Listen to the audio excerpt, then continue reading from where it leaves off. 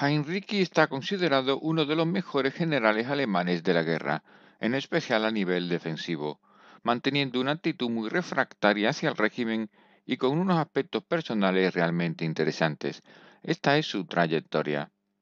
Nacido en 1886 en Prusia Oriental, era hijo de un pastor evangélico y miembro de una larga saga de pastores muy religiosos hasta tal punto que Heinrich fue uno de los pocos generales que acudía con frecuencia a oficios religiosos, incluso en plena guerra.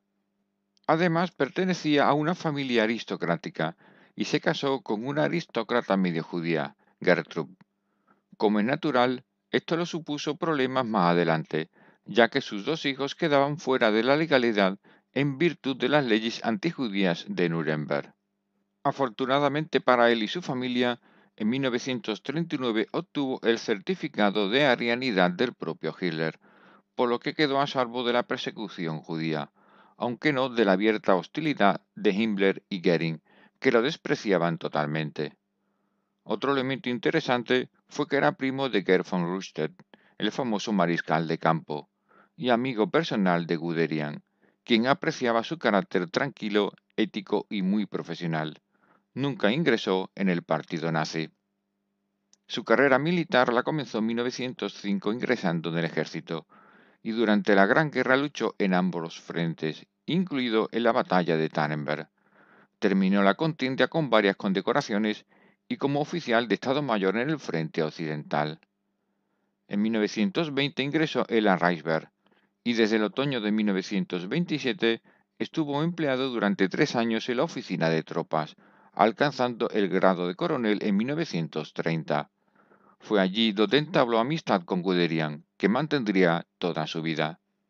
En 1933, Heinrich ocupó el cargo de jefe de departamento en el Ministerio de Defensa del Reich, y a partir de octubre de 1937 fue nombrado comandante de la 16 División de Infantería y ascendido a teniente general el 1 de marzo de 1938.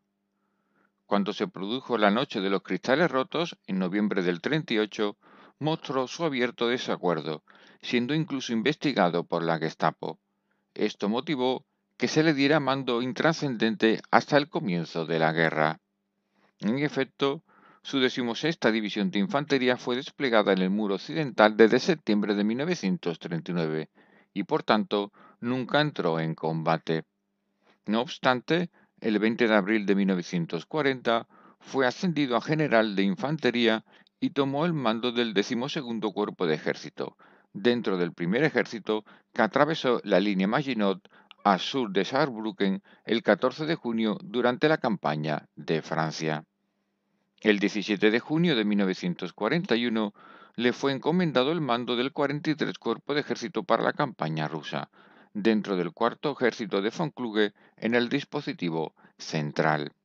Eficaz en el despliegue y rápido en la toma de decisiones, Heinrich se distinguió en la batalla de cerco de Bialystok-Minsk, así como en la batalla de Kiev, hacia donde giró su cuerpo en agosto de 1941. El 18 de septiembre de este año recibió la Cruz de Caballero de la Cruz de Hierro. Para la batalla de Moscú su cuerpo de ejército quedó integrado en el segundo ejército de von Weiss, que finalmente quedó frenado justo al sur de Tula antes de la gran ofensiva soviética del 6 de diciembre de 1941. Tras su sobresaliente defensa durante el duro invierno, el 20 de enero del 42 fue nombrado comandante del cuarto ejército, puesto que mantuvo hasta el verano de 1944. Durante aquel tiempo se distinguió especialmente en las batallas defensivas de Orsha, infringiendo severas pérdidas a la ofensiva liderada por Sokolovsky. El frente occidental soviético atacó al cuarto ejército de Heinrich en 11 batallas consecutivas. Gracias a las fortificaciones en líneas sucesivas y al permanente despliegue de Heinrich, los ataques fallidos le costaron al ejército rojo más de 530.000 hombres, mientras que las pérdidas del cuarto ejército ascendieron a unos 35.000.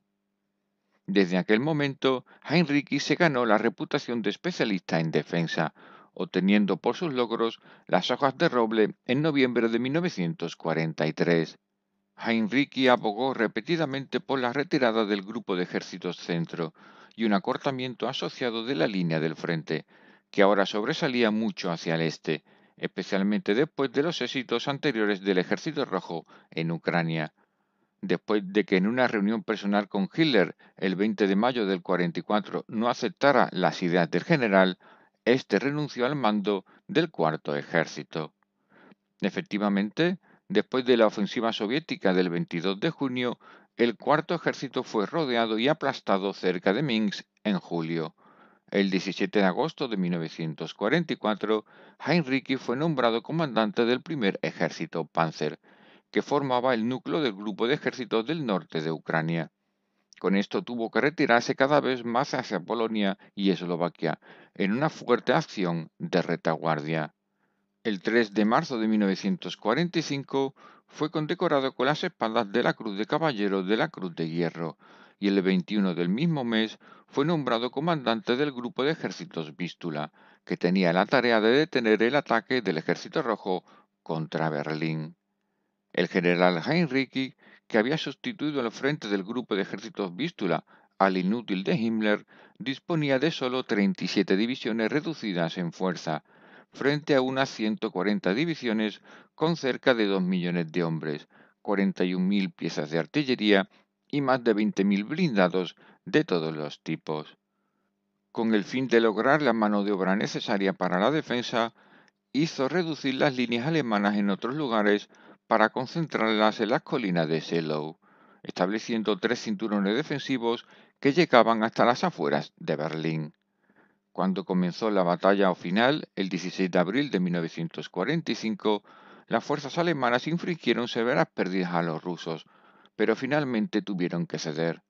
Debido a desacuerdos con el OKW, Heinrich fue relevado del cargo el 29 de abril del 45 a petición propia. Heinrich fue hecho prisionero de guerra por los británicos cerca de Flensburg el 28 de mayo de 1945. En la década de 1950 preparó estudios para la sección de Historia Operacional de la División Histórica del Ejército de los Estados Unidos murió en 1971 y nunca fue acusado de crímenes de guerra. A este respecto, es interesante que Heinrich se negó a aplicar la orden contra los comisarios soviéticos, aunque está confirmado que hubo ejecuciones en su área, y por dos veces se negó a destruir Smolensk como parte de la política de tierra quemada.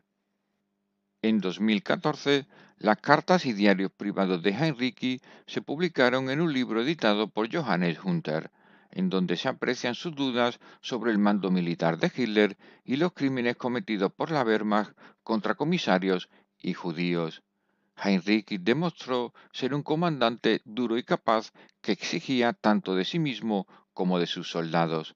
Como comandante del ejército, Heinrich mantuvo contacto personal permanente con las tropas de combate en el frente, por lo que fue un comandante querido por sus tropas que las dirigía siempre cerca de primera línea.